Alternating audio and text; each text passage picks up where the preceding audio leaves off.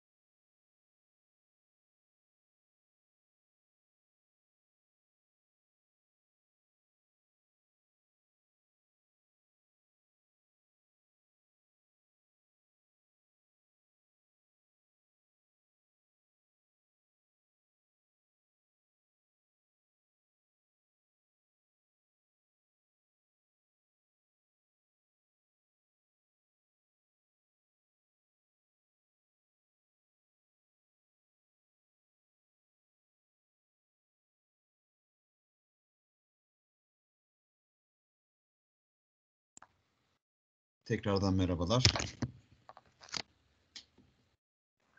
Başlayalım istiyorsanız Recep Bey. Ee, evet Alper Bey başlayabiliriz. Ee, yine bir ses kontrolü yapalım sonradan gelen e, katılımcılar için de. Bir problem var mı? Ve görüntüde bir sorun yaşıyor muyuz? Tamamdır. Ses duyamayan veya görüntüyü alamayan e, çete yazabilir mi? Recep Bey takip ediyor orada. Burada anlatım sırasında da e, aklınıza takılan sorular olabilir. E, chat ekranından yazarsanız ben bunları takip ediyor olacağım sunum esnasında.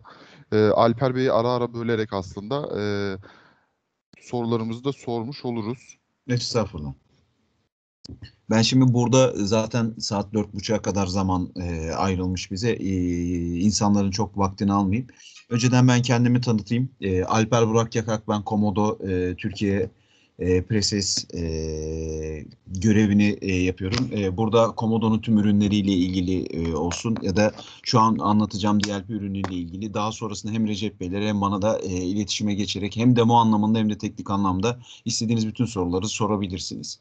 E, şimdi bugünkü anlatacağımız ürün olan e, Data Loss Prevention ürünümüz bizim e, eski adı MyDLP, yeni adı Komodo CDOM Data Protection olan bir üründen bahsedeceğiz. Bu üründe aslında e, tamamen lokalize kurup e, lokalinizden kullanıcılarınıza agent veya e, yönlendirmelerle aslında yönetebildiğiniz bir e, DLP ürünü diyebiliriz. Burada e, kurulumu bir e, basit aslında e, bunu e, bugünkü anlatımımda aslında kurulumunu içermeyeceğiz ama bundan sonraki eğer talep olması durumunda da istenilirse eğer işte hem kurulum senaryosu hem de kullanıcılara dağıtım senaryolarını daha detaylı da e, aktarıyor oluruz. Şimdi bu paneli ben kısaca tanıtmaya başlarsam aslında burada e, kurulum yaptığınızdan sonrasında panele giriş yaz, yaptığınızda en önemli alanlardan bir tanesi olan aslında polis kısmının tanımlanması ya da polisi kısmının belirlenmesi gerekecek. Şimdi burada üç tip ana başlıkta kuraldan bahsedebiliriz. Network kuralı, agent kuralı ve discover kuralı olarak üç kuraldan bahsedebiliriz. Ee, öncelikle network kuralı olarak yapılandırdığımız ya da network kuralı olarak nitelendirdiğimiz polisilerin içerisinde web ve mail kuralı var. Yani burada kullanıcılarınızın web e, e, web işlemlerini ve mail işlemlerini ya da mail aksiyonlarını, e, hareketlerini engellemek ya da e, aksiyon aldırmak isterseniz de bu iki kuralı tanımlamanız gerekir. Ama burada iki kuralda şunu belirtebilirim. Şu anki haliyle konuşacak olursak evet web ve mail tarafında birer entegrasyon yapmanız gerekecek. Entegrasyondan kastımız da aslında şu. Siz web kurallarını kullanıcılarda geçerli olmasını istiyorsanız ya kullanıcılarınıza lokal proxy girerek internet trafiği DLP sunucusu üzerinden geçireceksiniz veya kullanmış cihazlarınızda iCap veya transparan proxy ile kullanıcıların bir trafiğinin de bir kopyasını DLP sunucusu üzerine açmanız gerekecek. Şimdilik böyle dememin sebebi aslında bir ay sonra çıkacak release'de önce web kuralları daha sonrasında da mail kuralları tamamen agent üzerinden ee, şey tarafınıza e, kontrol agent tarafının son kullanıcı tarafında agent tarafının kontrol edilecek diyebiliriz. Onun dışında gördüğünüz storage, network paylaşım, removal storage'ler ya da çıkarılabilir meşalenmesi, ekran e, görüntüsünün almasının engellenmesi, yazıcı kuralı, API kuralı, USB kuralı, USB ve CD-ROM kuralı ve son olarak da clipboard dediğimiz aslında Windows panosunun kuralında aşağıda gördüğünüz bütün kuralları da agent üzerinden yönetebilirsiniz. Şimdi burada kural tanımladıktan sonra e, kuralların içeriğine birazdan daha detaylı değineceğim ama ana başlıkta kuralların çeşitlerini anlatayım. Daha sonrasında kural tiplerine dönüyor oluruz. Burada e, ilk kuralı tanımladıktan sonra da aslında bir de Discover Policy dediğimiz aslında kullanıcılarda veri keşfi yaptırabildiğiniz kurallarımız da var. Burada üç kural tipinden bahsedebiliriz veri keşfinde. E, bir tanesi son kullanıcı tarafında yapacağınız Endpoint Discover Rule. Bir tanesi Remote Storage'larda yani bu bir web sitesi olabilir, bir e, ortak paylaşım olabilir, bir SSH olabilir ve de e, bir NFS bağlantısı olabilir. Bu gibi bağlantılarda da veri keşfi yaptırabilirsiniz. Database Discovery Rule'da şimdilik sadece MySQL var ama bunun içerisinde MS SQL ve Oracle SQL daha sonrasında Postgres SQL ve diğer yoğun kullanılan SQL'ler de eklenerek aslında database'lerde de veri keşfi yaptırmanızı sağlayabileceksiniz. Ee, birazdan yine bunların işletme kısmına daha detaylı değiniyor olacağız. Ama kurallarda kullanacağımız aslında bizim için en önemli olan e, öğelerden bir tanesi de information type dediğimiz aslında bilgi tipi kısmını diyebiliriz. Şimdi burada hazır bilgi tipleri var. Bu hazır bilgi tiplerini kullanabilirsiniz. Bunların içerisinde IBAN, kredi kartı, TC kimlik numarası, eee CV, network patenleri, e, kredi kartı son kullanım tarihleri gibi aslında hazır şablonlar var. İsterseniz bu hazır şablonları kullanabilirsiniz. İsterseniz siz kendiniz de hem e, kelime bazlı hem de isterseniz regular expression dediğimiz aslında regex kodlarıyla beraber tanımlayacağınız e, kelime veya kelime grupları oluşturabilirsiniz. Ve bu oluşturduğunuz gruplarla ya da kelime e, bilgi tipleriyle ilgili de daha sonrasında ilgili kurallar yazabilirsiniz.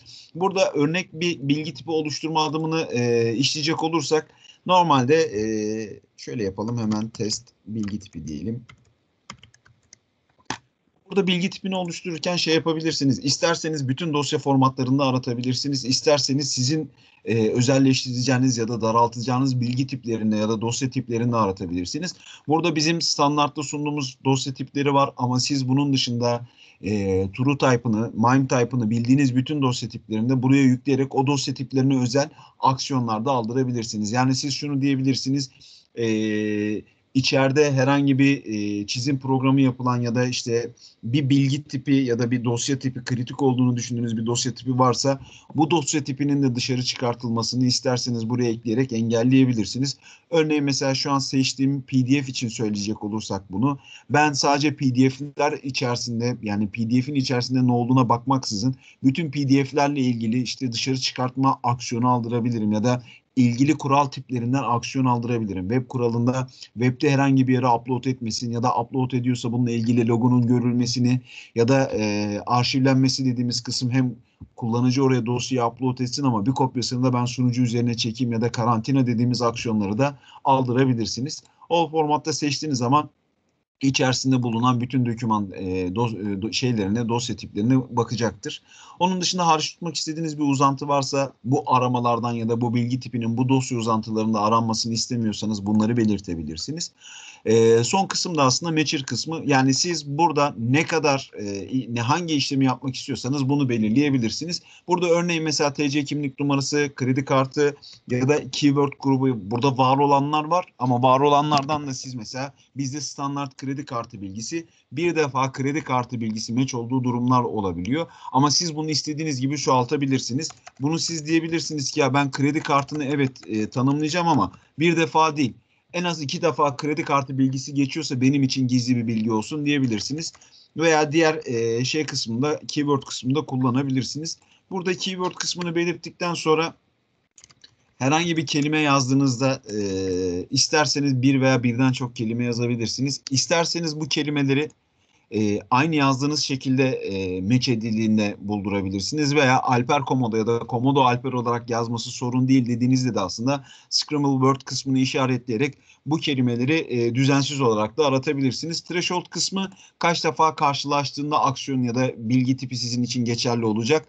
Bunu belirleyebilirsiniz. Yani burada siz Komodo Alper bir defa geçiyorsa benim için e, bir bilgi tipi olabilir diyebilirsiniz. Veya burada siz regular expiration tanımlayabilirsiniz bu e, regular expression'larda herhangi bir bilgi tipini yine aynı şekilde vereceğiniz e, değer eşiğinde işlemesi mesela bu örnek bir kan grubu e, regular expression'ıdır. Belki sağlık sektöründe veya e, içeride İK'cıların kullandığı belgelerde kan grubunun kişi bilgisiyle beraber olması gizli bir veri sayılıyor aslında KVKK'ya göre. Burada e, bu bilgi tipinin de bu regular expression'la oluşturarak aslında e, kullanıcılar tarafında ya da polisler tarafında ilgili polislerinizi tanımlamanızı sağlayacak bir e, özellik diyebiliriz. Burada bilgi tipini oluşturduktan sonra aslında daha sonrasında hangi e, polisi de bunu kullanmak isterseniz ekleyebiliyorsunuz. Burada örneğin bir web kuralı var. Bu web kuralının nasıl yazıldığını aslında kısaca değinebiliriz. Burada web kuralı yazılırken işte bir kuralın adını belirliyorsunuz, kural tipini belirliyorsunuz. Bu kural tiplerine göre değişebilecek bir kısımdır. Message to user kısmı. Burada kullanıcıya engellediği bir sayfada e, kullanıcıya bir mesaj kısmı çıkartıyorsa siz kendiniz özelleştirebiliyorsunuz. E, bu kural tetiklendiğinde kullanıcıya bir bilgilendirme maili ki buraya istediğiniz kadar kullanıcı tanımlayabilirsiniz. Bu kullanıcılardan isterseniz ilgili kişiye attırabilirsiniz. Yani e, kuralı bir gruba yazabilirsiniz. O grupta e, yetkili bir kullanıcı olabilir. E, o kullanıcıya da bu bilgilendirmeyi kural e, tetiklendiği an yani kural aksiyon aldığı an aslında bunu da ilgilisine mail olarak ilettirebilirsiniz. Şimdi burası biraz kural yazarken firewall e, mimarisine benzer bir yapıyla çalışıyor diyebiliriz. Buradaki yapıda e, şeyin e, kuralın hedefini belirliyoruz. Bu hedef network olabilir. İsterseniz bu şekilde all source olabilir network anlamında.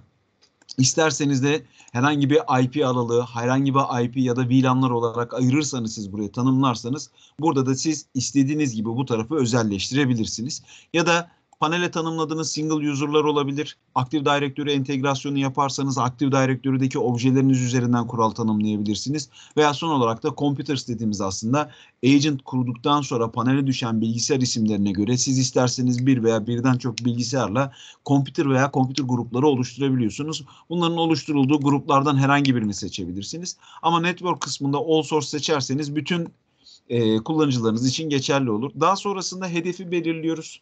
E, destination kısmını bu web kuralı olduğu için hangi web siteleri için geçerli olacak bu kurallar? Yine bunu isterseniz özelleştirebiliyorsunuz. Birden çok web sitesi için tanımlayabilirsiniz. Veya bu şekilde all domain diyerek de e, seçeneğini işaretleyerek de aslında kullanıcının webde yapacağı herhangi bir aksiyonla ilgili e, kuralın geçerli olmasını sağlayabilirsiniz. Daha sonrasında kaynak ve hedefi belirttikten sonra aslında kullanıcıdaki bilgi tipinin ne olacağını belirliyoruz. Burada e, birden çok bilgi tipini seçebilirsiniz. Birden çok bilgi tipiyle beraber aksiyon aldırabilirsiniz veya hepsine tek tek olarak da kural tanımlayabilirsiniz. E, ilk adımlarda tamamlandıktan sonra yani kaynak, hedef ve bilgi tipi kanım, e, tanımlandıktan sonra bu kural tetiklendiğinde ilgili kuralda alınacak aksiyonun e, ne olacağını belirlemeniz gerekiyor. Burada e, 4 tane aksiyon, şey 5 tane aksiyon var. Bu 5 aksiyondan bir tanesi PES kuralı. Yani bununla ilgili herhangi bir kayıt tutmayacak, herhangi bir engelleme yapmayacak bu kuralla ilgili. Bunu genelde şirket yöneticileri ya da yönetim kurulu üyeleri için yaptığınızda ya da şey tarafında e, şey tarafında bu arada e, bir soru geldi. Listede olan web mail siteleri evet. için geçerli sanırım diye. Bu aslında mail siteleri için geçerli değil. Tüm domainler için. Yani Komodo için de kural yazabilirsiniz. Milliyet için de kural yazabilirsiniz. Sizin destination kısmında belirteceğiniz domainler illa bir mail sunucusu olmak zorunda değil. E, tamamen herhangi bir domain olması yeterli diyebiliriz o tarafta da. E, diğer aksiyon e, tarafında alınacak e, kurallardan bir tanesi de e, blok kuralı. E, kullanıcının sizin bu e, örnekte konuşacak olursak bütün web tarafında TC kimlik numarası, IBAN veya diğer tanımladığınız bilgi tiplerindeki aksiyon gerçekleştiğinde yapacağı işlem aslında blok aksiyonu olacak. Yani kullanıcının o işlemi yapmasına izin vermeyecek. Log e, kullanıcının bu işlemi izin yapmasına izin verecek ama bir kaydını da e, kayıt altına alacak. Karantina blokla aynı işlemi yapacak. Yani kullanıcının bu işlemi yapmasına izin vermeyecek. Aynı zamanda ilgili dosyanın bir kopyasını da karantina üzerine alacak. E, sunucu üzerinde karantinaya alacak. Arşivde logla işlemi yapacak. Yani kullanıcının bu işlemi izin vermesini sağlayacak. Aynı zamanda da işlem e, izin verdiği işlemin içerisinde geçen bütün datayı da e, sunucu üzerinde arşivleyecek diyebiliriz. Tabii bu kuralları yapılandırırken dikkat etmemiz gereken şey aslında disk e, sizin sunucuda verdiğiniz disk boyutu ve bu disk boyutunun doluluk oranını ne kadar dolduracağına bağlı olarak düzenli bir şekilde ya kontrol etmeniz gerekiyor ya da ona göre disk ayarlarını yapmanız yapmanız gerekiyor. Ama burada kuralı yazdıktan sonra anlık olarak kullanıcıya gitmez. Kullanıcıya göndermeniz için aslında install policy diyerek kullanıcıya bu kuralı push etmeniz gerekiyor. Kullanıcıya polisi, e, bir değişiklik yapıp kullanıcıya bu polisiyi push ettikten sonra şurada sağ üst köşede, e, köşede bir e, revision ID'si görebilirsiniz. Bu her yaptığınız değişiklikte aslında DLP sunucusu tarafından sizin adınıza bir önceki değişikliği otomatik olarak kaydeden bir sistem geri yükleme noktası olarak düşünebilirsiniz. Yani her yaptığınız e, kural değişikliğinden sonra ve kullanıcıya gönderdikten sonra otomatik olarak sistem tarafına e, sizin adınıza hazır bir e, kural e, geri yükleme noktası oluşturuluyor diyebiliriz. Hatta siz bunları isterseniz özelleştirebilirsiniz veya bir önceki ya da anlık olarak yaptığınız işleme dönmek isterseniz de restore deyip geri dönebilirsiniz. Şimdi burada kuralları yazıp kuralları işte e, kullanıcıya gönderdikten sonra aslında ondan sonrasında da kurallar kullanıcı tarafında çalışmaya başlayacaktır. Hatta şöyle bir örnek yapalım. Bu e, yazdığımız kuralın içerisinde kredi kartı bilgisi e, webde kullanılmasın diye bir senaryo vardı. Şimdi ben kredi kartı bilgisini webde kullanmaya e, yasakladığımdan dolayı kullanıcı bunu webde herhangi bir şekilde aramasını da yapamaz veya diyelim ki e, bu şekilde bir e, uygulamanın işte Gmail olabilir, Hotmail olabilir veya bir e, mail e, web mail e, olabilir. Bunlardan herhangi birinde bu işlemi yapmak istediğinde de aslında e, engellendiğini görebilirsiniz. Şurada şöyle yapalım DLP. Ben kullanıcıda e, ben mailin içeriğine yazmayacağım bunu. Kullanıcıya o şey kredi kartını bir dosyanın içerisine koyup göndereceğim. Ve dosyayı e, şeye Gmail'in mail client'ına eklemek istediğimde gördüğünüz gibi eklemenin başarısız olduğunu görebilirsiniz. Çünkü içinde kredi kartı bilgisi var. Hatta burada şunu yapayım ben içerisinde boş olan bir e, şeyi e, belgeyi buraya yüklemeye çalışayım. Bunun başarılı bir şekilde yüklendiğini görebilirsiniz. Ama içerisinde kredi kartı bilgisi olan herhangi bir e, işlemi yapmaya çalıştığımda buna müsaade etmeyecektir. Hatta şöyle ben bu e, test kredi kartı bilgisini mail olarak göndermek istediğimde e, aynı maili de e, şey tarafından kullanıcı tarafından aslında kesecektir diyebiliriz gönderimini. Burada bunların detaylı loglarını log içerisinden görebiliriz. Burada dosyayı sıkıştırıp göndermeye çalışınca da aynı aksiyonu alıyor. Hatta şöyle yapalım. Aynı eki ben burada dosyayı göndermek için yapayım. Alper noktaya kalk. Şöyle şifreli larlar için veya şifreli doküman dosyalar için bir dene- denetleme mekanizması şöyle var. Siz bu dosya tipleri için kural yazabiliyorsunuz. Yani bütün şifreli e, arşiv dosyaları veya bütün şifreli doküman dosyaları e, şey tarafından, DLP tarafından dış dünyaya gönderirken işte ilgili policy tiplerinden blok kuralı tanımlayabiliyorsunuz. Yani içeriğini açıp okuyamıyor ama o dosyanın şifreli bir dosya olduğunu algılayarak e, ona göre kural tanımlayabiliyorsunuz.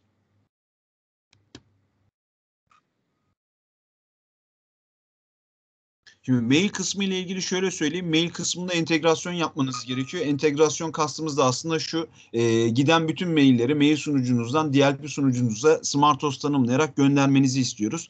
Burada bu şimdilik böyle çalışıyor. Daha sonrasında sizin dediğiniz gibi kullanıcı tarafındaki mail programları ile e, beraber aslında agent üzerinden yapacağı için kullanıcı maile atmadan daha bunu tanımlayacak diyebiliriz. Burada gördüğünüz gibi kredi kartı ile ilgili e, şey kısmı var. E, şifrelenmiş dosya kısmı var. Burada e, bu dosyayı e, eki eklemek istediğinizde alacağı aksiyonu gösterebiliriz. Şöyle yapalım.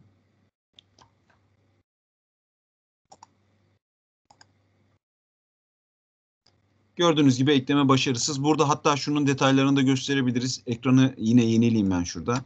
Log kısmında da hangi kullanıcıda ne zaman e, ne aksiyon alınmış bunların detaylarını görebilirsiniz. Karantina olduğu için de e, gördüğünüz gibi gerçekleşme tarihi, kullanıcının IP'si, login olan kullanıcı, alınan aksiyon, hangi kural tipi ve hangi kurala eşleşmiş, hangi e, hedefe doğru göndermiş bunu. Gördüğünüz gibi burada da e, ekstrak edilmiş yani e, zipli dosyadan dışarı çıkartılmış bilgi hatta bu dosyanın içerisindeki bilginin de ne olduğunu görebilirsiniz. Burada hatta blokladığı e, dosyanın açılmış halini de buradan e, isterseniz ilgili butona tıklayarak da indirebilirsiniz. Ve burada e, hazır log kısmına gelmişken de çok detaylı aramalar yapabilirsiniz. Burada tüm logları görebilirsiniz.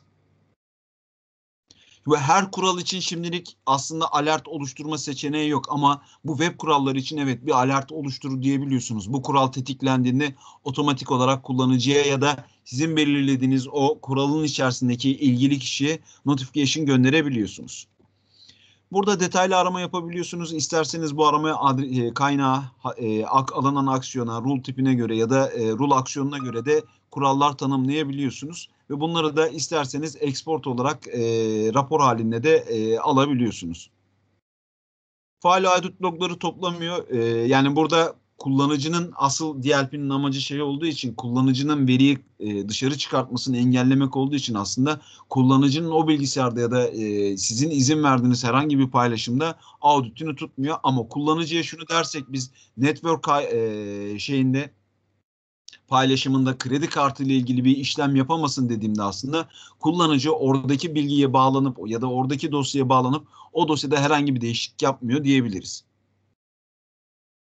Kredi kartı ile ilgili alışveriş yaptığınızda burada siz eğer kredi kartı ile ilgili herhangi bir engelleme yaptıysanız kredi kartınızın kullanılmasını da müsaade etmeyecektir. Şimdi bu kural tipleriyle ilgili aslında geneli hepsi aynı. Bundan sonraki yazacağınız bütün kurallarda da benzer e, aksiyonlar aldırabilirsiniz. Network paylaşımı, ekran görüntüsü, e, yazıcı kuralı, API entegrasyonu, CD, DVD kapat e, açma, engelleme ya da Windows kuralı, kurallarını tanımlayabilirsiniz. E, çok vakit kalmadı. Hemen hızlıca Discover Policy kısmına geçeyim. Burada da Discover Policy kısmında da e, kullanıcılarda veya işte e, remote storage'larda veri keşfi yapabiliyorsunuz. Burada da örnek bir kural üzerinden hızlıca geçeyim hemen. Burada kural tipini belirledikten sonra aslında bir önceki polisiye benzerdir. Yine e, isterseniz e, kural e, tetiklendiğinde ya da tamamlandığında bununla ilgili notification alabilirsiniz. Yine source belirtiyorsunuz. Daha sonrasında destination belirtiyorsunuz. Kullanıcı da arayacak dosya dizinini ki buraya istediğiniz kadar e, özelleştirebilirsiniz. Bütün e, direktörleri arattırabilirsiniz ya da kısıtlı bir alanı arattırabilirsiniz. Çok pardon kısıtlı bir alanı arattırabilirsiniz. E, hatta aranacak dizinin içerisinde hariç tutmak istediğiniz dosya dizinleri vardır. Bunları hariç tutabilirsiniz. E, ve kullanıcıda arayacağınız bilgi tipi. Yani siz şunu diyebilirsiniz. Ben ilk DLP'yi kurduğumda kullanıcılarda ne tür bir veri var bunu bilmiyorum ve bunu keşfetmek istiyorum derseniz de ilgili kişisel verileri ya da sizin belirleyeceğiniz bilgi tiplerinden herhangi birini ya da herhangi birkaç tanesini seçip son kullanıcı tarafında e, aksiyon aldırabiliyorsunuz. Yani ilkinde belki loglama olarak aldırabilirsiniz ve kullanıcılarda olmaması gereken kullanıcıda mesela standart bir son kullanıcıda siz kişisel bir veri tutulmasını istemiyorsanız o grubu belirleyip o gruba e, keşif yaptırıp daha sonrasında da bulunan kişisel veriyi sildirebilirsiniz. Bunu isterseniz anlık olarak çalıştırabilirsiniz, isterseniz de zamanlayıp haftalık veya günlük olarak çalıştırabilirsiniz. Ee, burada herhangi bir daha öncesinde çalıştırılmış raporu görebilirsiniz. Raporlar kısmında e, kullanıcıda çalışıp ve e, şey tarafında sunucu tarafında bu raporun çıktısını görebilirsiniz. Onun dışında diğer remote connection kısmında aslında tanımlanmış özellik olarak şöyle söyleyebilirim. Sadece bir Windows paylaşımı değil, SSH, FTP web sitesi ve NFS bağlantılarında da bu keşifleri yaptırabilirsiniz. E, son olarak da database tarafındaki e, connection kısmı var. Database kısmındaki connection kısmında da aslında e, şimdilik MySQL dediğim gibi diğer database'ler de eklenecek. Buralarda da veri keşfi yaptırabilirsiniz. Remote ve database bağlantılarında son kullanıcıdan farklı olarak sadece aksiyon olarak e, log veya arşiv seçeneğini kullanabilirsiniz. Son olarak doküman database dediğimiz aslında burada e, sisteme yani DLP sunucusuna bir e, dosyayı yükleyerek bu dosyanın hem hashiyle hem de isterseniz PDM dediğimiz parchment doküman matcher sizin belirleyeceğiniz e, özelliklerde o dosyada bulunan bir verinin dışarı çıkmasını engelleyebilirsiniz. Yani siz PDM olarak bir veriyi yüklediğinizde şunu diyebilirsiniz. Bir sayfa içerisinden bir kelime dışarı çıkartılmaya çalışırsa bununla ilgili e, bu benim aslında bir bilgi tipimdir. Bununla ilgili işte web kuralı yazabilirim, mail kuralı yazabilirim ya da diğer kanallardan kural yazarak aslında bu verinin dışarı çıkartılmasını engelleyebilirim. Bunu daha çok şeylerde kullanıyoruz. Çünkü bu e, biraz kaynak e, tüketen bir e, işlem diyebiliriz. Bunu daha çok işte böyle bir algoritması olmayan işte kredi kartı, TC kimlik numarası ya da IBAN gibi bir e, veri tipinin algoritması olmayan verilerde kullanıyoruz ya da şirket için çok çok gizli olan bir sözleşme olabilir, bir evrak olabilir, bir anlaşma olabilir. Bu gibi belgelerin dışarı çıkartılmasını engellemek için yaptığımız bir özellik diyebiliriz. Alper Bey e, bölüyorum ama Oğuz Bey'in bir sorusu olmuş. İsterseniz oraya da bir değinelim. Tabii. E, yönetim panelinde birden fazla kullanıcı oluşturabiliyor muyuz? Bunları yetkilendirebiliyor muyuz aslında? Öyle bir sorusu olmuş Evet, Oğuz Bey'de. burada kullanıcılarda rule e, tipleri var. Burada hazır rule tipleri var. Bu rule tiplerinden herhangi birini kullanarak aslında panele tanımladığınız kullanıcılara da e, ayrı ayrı yetkiler tanımlayabiliyorsunuz. Evet, Oğuz Bey'in sorusunu da böyle cevaplamış olalım. E, onun dışında e, var mı başka soru? Yani Ya biraz hızlı biraz geçmiş olabilirim ama. bu arada zamana sığdırmak için e, ama bunun versiyon ikisini de e, muhakkak yaparız ya da dediğim gibi aslında kurulum senaryosunu ya da kullanıcılarda yapılandırma senaryosu üzeriyle çok çok daha detaylı konuşabiliriz. Burada bu MyDLP ile ilgili şunu söyleyeceğim bu arada. MyDLP 2 release e, ya hatta 3 release daha çıkacak. Bu release'lerde çalışma mimarisi değişecek. Mesela az önce bilgi tiplerinde gösterdiğimde standart tek tek gördüğünüzde ya da tek tek seçmek zorunda kaldığınız bilgi tipleri için aslında biz genel sektör bağımsız olarak KVKK bilgi tipi diye bir bilgi tipi grubu oluşturacağız. Bu sayede de aslında siz tek tek seçmek zorunda kalmayacaksınız. İşte kredi kartı, TC kimlik numarası o veya bu diye seçmek zorunda kalmayacaksınız. Çıkarttığımız güncelleme sonrasında da aslında siz sadece KVKK bilgi tipini seçerek aslında kullanıcılarınızda ya da istediğiniz rule tiplerinde anlık olarak e, bilgi tipini seçebileceksiniz. Ha bu sektör bağımsız şey sektörel olarak çok değiştiği için genel bir e, aslında information type olacak. Mesela sağlık ve finans sektörü için e, bilgi tipleri birbirinden çok bağımsız olduğu için genel bilgi tipi için aslında bu genel kuralı yazabileceksiniz diyebiliriz. Teşekkür ederiz. E, onun dışında İlker Bey'in bir sorusu vardı e, Alper Bey. Mobil cihazlardan kritik veri gönderilmeye çalışınca ne gibi tepki oluyor? Mobil Mesela cihaz desteğimiz yok şu an DLP için ama şu an bu yapıyla yapılandırdığınızda yani güncelleme çıkmadan önceki yapıyla yapılandırdığınızda web entegrasyonu yapmanız ve mail entegrasyonu yapmanız lazım. Şimdi web ve mail tarafındaki entegrasyonu tamamlarsanız mobil tarafından olup olmamasına bakmıyor. Yani siz mailleri mail sunucudan bana yönlendireceğiniz için kullanıcı agent yüklü mü? Kullanıcı mobil mi? Kullanıcı webten mi gelmiş? Kullanıcı X bir cihazdan mı gelmiş? Benim için hiç önemli değil. Ben mailin kaynağı olan yerden mail sunucudan alıyorum bu maili. Ona göre aslında e, bloklama ya da loglama işlemi yapıyorum. Web için de bu geçerli. Mesela cihazlarınızı siz şirket network'ünüzden çıkartırken e, firewall cihazınıza DLP sunucusuyla beraber bir entegrasyon yaptıysanız yani ICAP olarak e, ICAP protokolü üzerinden konuşturduysanız veya transparan pro- e, proxy üzerinden konuşturduysanız mobil cihaz olup olmaması yine önemli değil ama dediğim gibi bu çalışma mimarisi için geçerli bu. Şimdilik böyle eğer agent'a döndüğünde aslında mobil tarafında da herhangi bir aksiyon aldırılmayacak ilk etap için. Daha sonrasında da mobil tarafa taşınıyor olacak. Burada şunu da belirteyim. Biz bu ürünü evet DLP olarak konuştuk ama Komodo'nun sadece bu DLP'si yok. Şu an e, geçen gün e, katılan vardı veya yoktu bilmiyorum ama açıkçası bizim e, son kullanıcı tarafında aslında ITRM platform dediğimiz daha doğrusu One platform dediğimiz bir platformumuz var ve bunun içerisinde Endpoint Manager diye bir çözümümüz var. Yani son kullanıcılarınızı yönettiğiniz antivirüs çözümümüz var. Bu antivirüs çözümü içerisinde aslında geliştirdiğimiz bir DLP ürünümüz daha var. O bundan tamamen bağımsız bir ürün olarak düşünebilirsiniz ama buradaki özelliklerin tamamının orada olacağını ve o tarafında e, geliştirilmeye devam ettiğini 2021'in ilk çeyreğinde de tamamlanacağını söyleyebiliriz. Burada aslında şunu sağlayacak size o taraf. E, buraya sadece DLP kullanmak isteyen bir müşteriniz olursa ya DLP kullanmak isterseniz sadece bunu kullanabilirsiniz ama antivirüsle beraber DLP tek yönetim konsolu üzerinden, tek agent üzerinden yönetmek istiyorum derseniz de tamamlandığında Cloud Platform tarafındaki Endpoint Manager üzerindeki DLP'yi de kullanabilirsiniz. Teşekkür ederiz Alper Bey. E, onun dışında bir de Abdullah Bey'in bir sorusu var. E, tarayıcı üzerinden TC kimlik no kredi kartı bilgilerini kaydetmeyi önleyebiliyor muyuz? Demiş Abdullah Bey ama Yani şöyle burada e, TC kimlik numarası ya da kredi kartı bilgisini kopyalayıp masa üstüne kaydetmeyi soruyorsanız bunun için clipboard rule var ya da indirdiği bir belgeyi masa üstüne indirdiğinde de zaten aslında bunu kaydetmesine izin vermeyecek web tarafından indirmek istediğinde.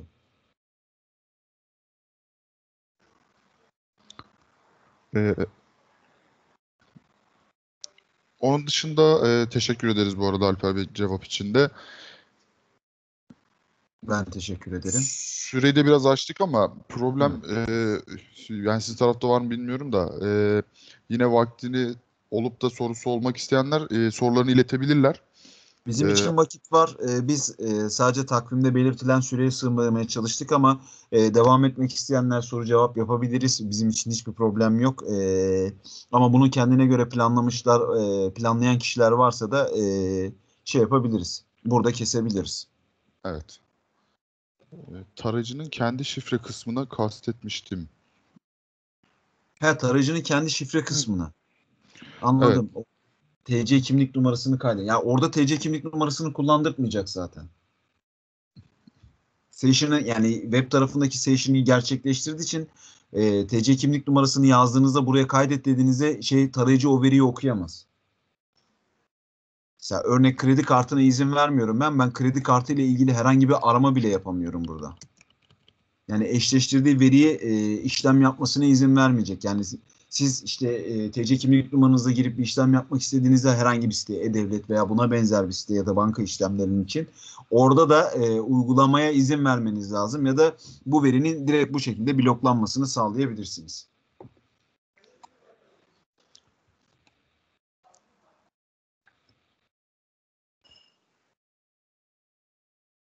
Bu videoyu kaydetmiştiniz değil mi Recep Bey? İsterseniz Ben- e, yine toplantı sonunda maillerinizi iletirseniz Recep Bey e, ilgili e, şeyi de e, iletiyor olacaktır. Kaydı da iletiyor olacaktır. Tabii e, bu linkleri de sizinle paylaşıyor olacağız. E, onun dışında İbrahim Bey'in e, bir sorusu var. Hemen oraya da bir bakalım. E, Exchange Online ile bir agent mevcut mu? Smart Exchange- her yerde kabul edilmeyecektir. Exchange e, online ile bir e, agent şu an için mevcut değil ama o e, 365 entegrasyonumuz var e, şey tarafında. Dediğim gibi bu şimdilik bu, bu şekilde çalışıyor. Biz de bu şekilde Smart Host tanımlanması her yerde kabul edilmeyeceği bilgisini e, aldıktan sonra kullanıcılar tarafında, müşteriler tarafında bunu e, agent üzerine çekiyoruz şu an. Yani Ocak ayına çı- çıkacak release'de agent üzerinden olacak. Yani bir Smart Host tanımlama ihtiyacı kalmayacak. Evet heyecanla da bu e, e, update'i bekliyoruz aslında. Evet. Evet.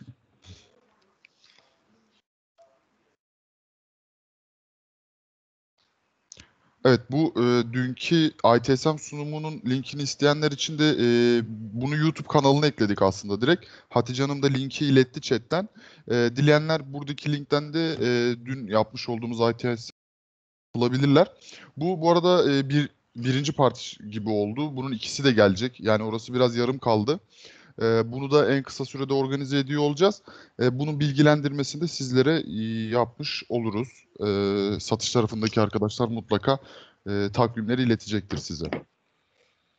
Onun dışında hatta hani e, merak ettiğiniz ürünler olabilir. Hani şu ürünü de inceleyelim diyebilirsiniz. Bunları da bize iletirseniz bunlarla alakalı sunumlar da yapabiliriz. E, yine e, DLP tarafı aynı şekilde. Yani DLP'de farklı senaryolar görmek isteyebilirsiniz. E, bunları yapabiliriz. Hatta yeni update'ler geldi mi de e, yeni bir DLP sunumu organize edelim Alper Bey. Tabii tabii seve seve. Sizin aracılığınızla ya da direkt bize de e, aklına daha sonra bir soru takılan ya da e, bir senaryo takılan olursa da e, ulaşabilirler. Tabii ki her zaman ulaşabilirler bize. Ee, biz yardımcı ol- olmaktan e, onur duyarız. Ee, yine bizim takıldığımız yerlerde sağ olsun Komodo Türkiye ekibi de e, her zaman arkamızda. E, onlar da her zaman bize destek oluyorlar. E, inşallah hiçbir şekilde problem yaşamadan ürünü kullanmanızı sağlıyor oluruz. E, onun dışında var mı başka soru? E, bekleyelim biraz da. Ya bir, bir- biraz daha bekleyebiliriz ama farklı bir soru yoksa da e, şey Evet. yapabiliriz. Kimsenin Şu an için- almamamıza gerek kalmıyor. Ee, yani sorusu olan chatten yazabilir. Ee, yani anlatacaklarım şu an için bu kadar. Biraz da zamana uymak zorunda kaldık. Hı hı. Biz teşekkür ederiz Abdülhamit Bey. O zaman e, teşekkür ediyorum ben Alper Bey. Ağzınıza sağlık. Ben teşekkür ederim katılan herkese. Çok teşekkürler. Sağlıklı günler diliyorum. Sağlıklı günler herkese. Kolay gelsin.